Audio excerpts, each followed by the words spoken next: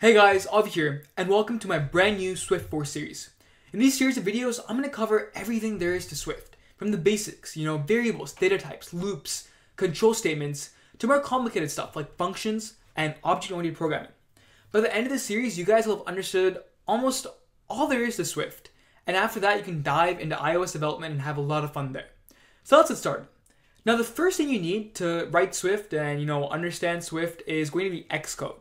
And the version of Xcode that supports Swift 4 is Xcode 9, which has not been released to public yet.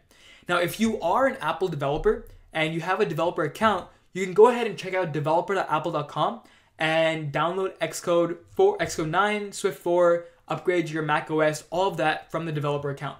However, for most of you, you're probably not going to be a developer just yet. So, instead, what I'd suggest is go ahead and check out the App Store.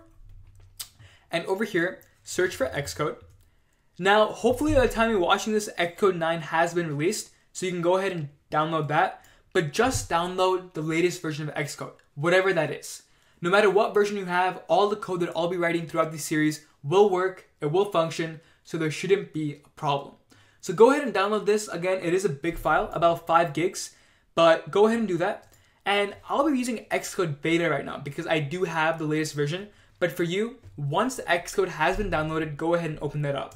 So I'm gonna go ahead and open up my Xcode, which is beta for me. And now, once you see the screen, we're gonna go ahead and give it a few seconds. Awesome. We're gonna write all our code in a playground.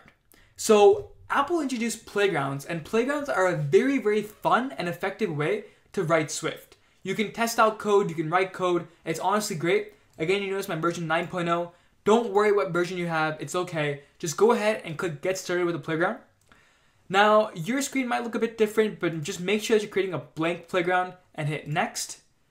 And then it's gonna ask you for the name. So I'm gonna go ahead and call this learning swift.playground and hit create. Great. So I'm gonna go ahead and expand this. And a couple of things you're gonna notice right away. One, my text is a bit big, and two, my theme. So I know for a lot of you, you guys might not like the basic white theme that Xcode comes with. So go ahead and click on Xcode, Preferences, and then you can change your theme in the Fonts and Colors tab of Preferences. So again, I'm using Dusk. You probably might see Basic or Default.